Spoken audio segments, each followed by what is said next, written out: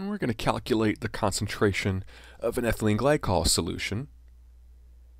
And this time we're going to use molality. Same thing. You see that you need a solution unit? Write down the definition. What's the definition of molality? Moles of solute per kilogram of solvent. Make sure write it with the solute and solvent in there. Don't confuse kilograms of solvent with kilograms of solution. It's an easy mistake to make. Now, since molality has moles of solute in it, and we were given the mass of the solute, the ethylene glycol, we need the molar mass of it. Let's start the problem. I'm going to do it as a chain calculation. We're given the moles of solute. So the first thing to do, use the molar mass. Do you multiply or do you divide by the molar mass? Well, you divide. Because now your gram units cancel. You've got moles in the numerator. We're good to go. Now we're told how much solution we have, 208.3 grams.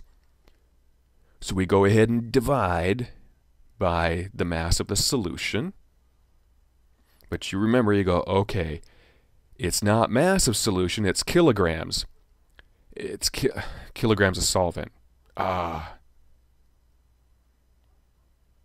Oh, shoot. Okay, we need to fix this. What information do we have? Well, we have the mass of the solute, the ethylene glycol. We have the mass of the solution. How do you get the mass of the solvent? Because we're not told the mass of the solvent. So how the heck do we get it?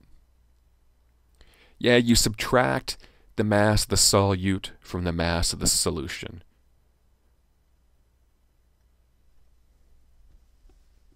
The solvent mass is 100.0 grams. Now we keep going. Now we do that kilogram conversion. And um, how many grams are in a kilogram? Kilo equals a thousand. So the gram units cancel. We're left with kilograms. Let's double check before we multiply and divide. We have moles of solute over kilograms of solvent. Okay, good. 17.45 moles per kilogram. That's the preferred way to write it.